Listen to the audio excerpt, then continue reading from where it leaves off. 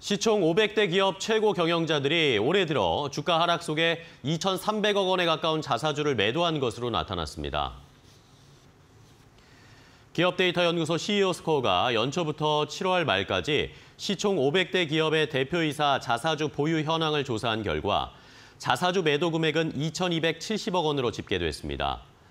이들이 보유한 지분 가치는 작년 말 43조 965억 원에서 7월 말 36조 136억 원으로 16.4% 감소했습니다.